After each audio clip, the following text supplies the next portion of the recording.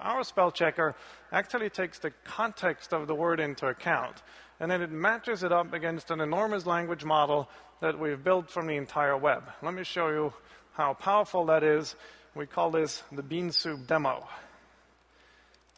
Can I have some bean soup?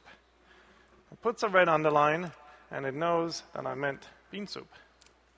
Okay, now watch carefully. It has been so long. Ickland is an Ickland.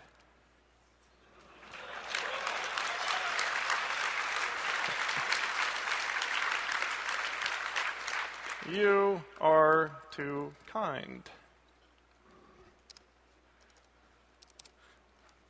Pretty cool, huh?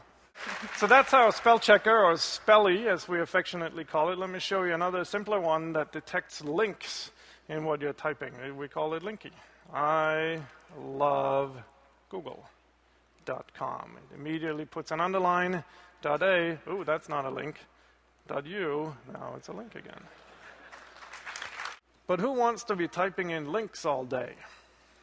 We had a very good friend of ours from the Google search team build this extension for us here called Searchy. Let's search for Australia. We have a really clever naming convention. Yeah. and here you can do a Google search from right inside Wave and add the link like that.